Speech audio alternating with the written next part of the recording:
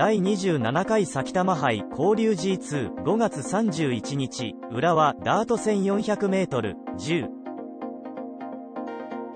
10頭立て JRA4 南関東5立区1で争われ川田優雅騎手騎乗の一番人気のシャマルオス5歳立東松下武史厩舎父スマートファルコンはスタート直後からスピードに乗れず1コーナーで馬群最高峰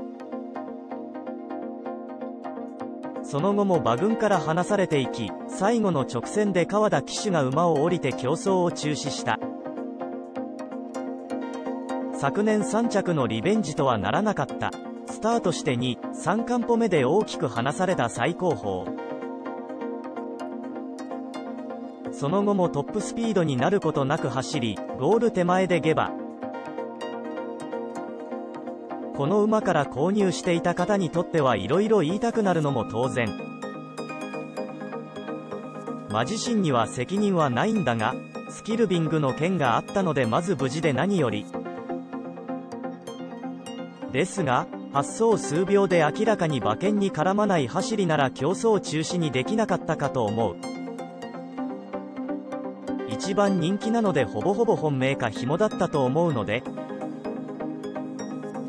仕方ないとはいえど最初からビリケツの状態でスタートはあまりにも。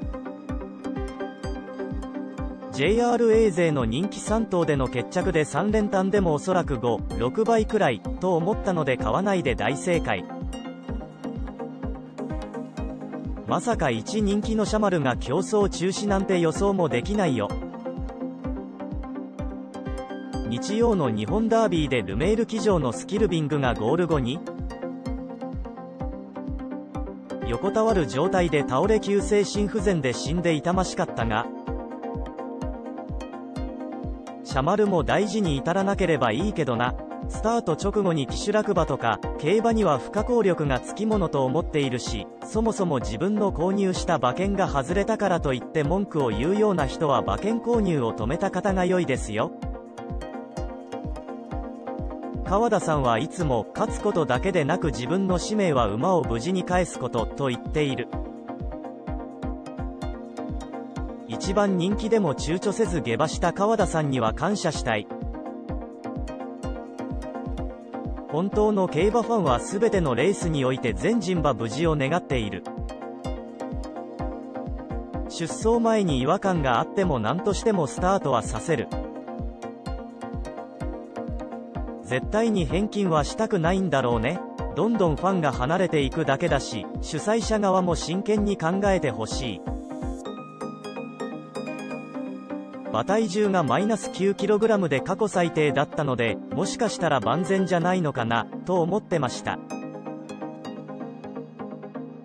歩けてたようなので命に関わる事態ではなさそうですが心房細動なのか破行なのか続報を待ちます。異変に気づいた時点で中止してほしかったな。おそらくスタート前も異変があったはず。お金が絡んでるのはわかるけど馬あっての競馬です。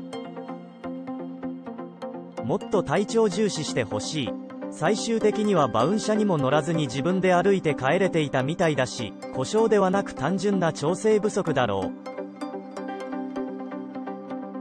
う。2023年4月15日土曜日。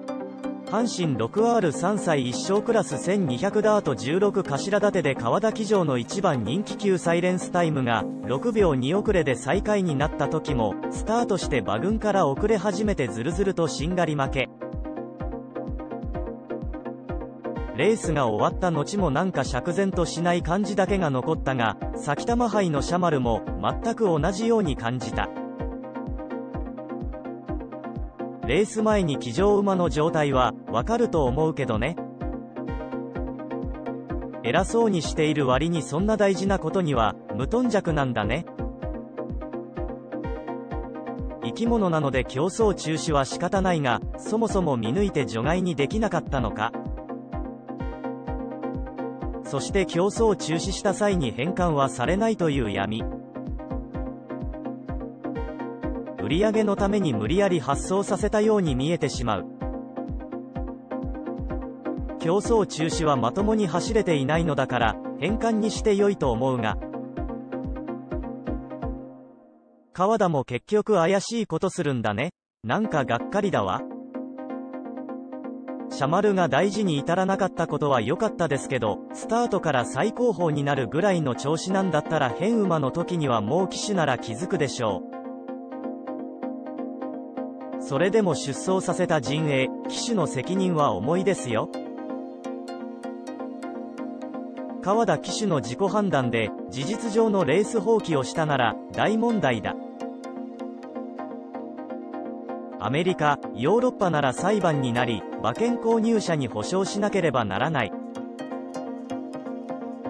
先月のケンタッキーダービーでは回収馬からゲートインの間に主催者側が10位と CT の画像処理結果として上位人気馬を直前に出走取り消し処分にした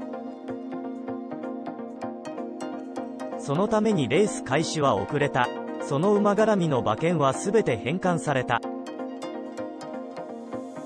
さすがアメリカ合衆国である。日本は遅れている。改善するべきである。